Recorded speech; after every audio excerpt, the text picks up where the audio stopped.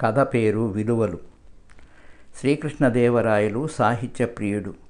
దేశంలోని పండితులను కవులను ఆదరించేవాడు. అనేక మంది తమ పాండిత్యాన్ని రాయల ఎదుట ప్రదర్శించి బహుమానాలు పొందేవారు. రాయలవారి రాజధాని విజయనగరంలో రామశర్మ అనే ఒక సామాన్య పండితుడుండేవాడు. అతనికి చెప్పుకోదగ్గ పాండిత్యం లేదు కానీ ఏదో విధంగా రాయలవారి వద్ద పెద్ద బహుమానం పొందాలని ఆశ పుట్టింది. అందుకని శ్రమపడి కొన్ని పద్యాలను ఛందస్సు లోపం లేకుండా రచించి రాయలవారి ఆస్థానానికి వెళ్ళాడు. రాయలవారి ఎదుట తాను ఒక గొప్ప పండితుడు కవి అని చెప్పుకొని తాను రచించిన పద్యాలను చదివాడు. రాయలు తాను గొప్ప కవి విద్వాంసుడు అవడం వల్ల రామశర్మ పద్యాలలో ఏమీ స్వారస్యం లేకపోయినా పాపం పేద పండితుడు కదా అని స్వల్పమైన బహుమానం ఇచ్చి పంపమని ఆదేశించాడు. చాలా స్వల్పమైన బహుమానం ఇచ్చినందుకు రామశర్మకు రాయలపైన ఆగ్రహం వచ్చింది. శ్రీకృష్ణదేవరాయలు పక్షపాతి అని తన పద్యాలకు ఎక్కువ బహుమానం పొందిన పండితుల పద్యాలకు తేడా ఏమిటి?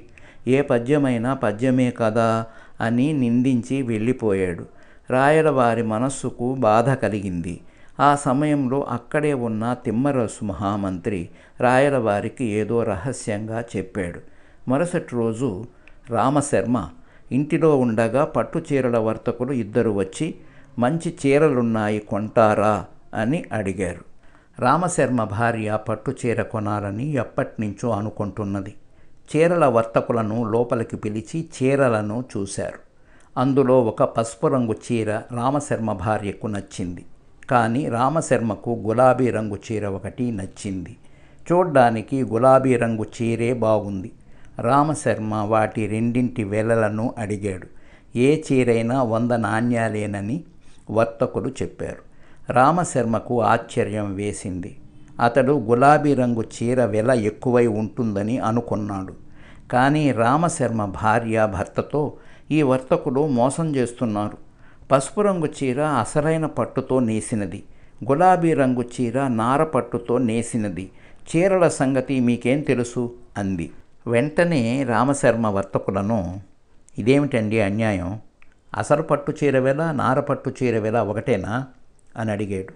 అందుకు ఆ వర్తకులు రామశర్మ గారు నిన్ననే కదా మీరు రాయలవారి ఆస్థానంలో ఏ పద్యమైనా పద్యమే కదా?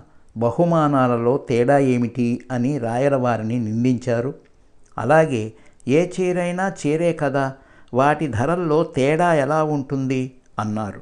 రామశర్మకు ముందు రోజు రాయల ఎదుట తన ప్రవర్తన పట్ల సిగ్గు వేసింది. ఈ వర్తకులకు ఈ విషయం ఎలా తెలిసిందని ఆశ్చర్యపడుతూ ఉంటే రాయలవారు తిమ్మరుసు మంత్రి తమ నిజస్వరూపాలను బయటపెట్టారు. వెంటనే రామశర్మ రాయల కాడపై పడి నమస్కరించి క్షమాపణ కోరాడు. విశాల హృదయుడైన రాయలవారు అసలైన పట్టుచీరను రామశర్మ భార్యకు ఉచితంగా బహుకరించి నవ్వుతూ తిమ్మరుసుతో వెళ్ళిపోయాడు. మరొక మంచి కథతో మళ్ళీ కలుద్దాం. నమస్తే.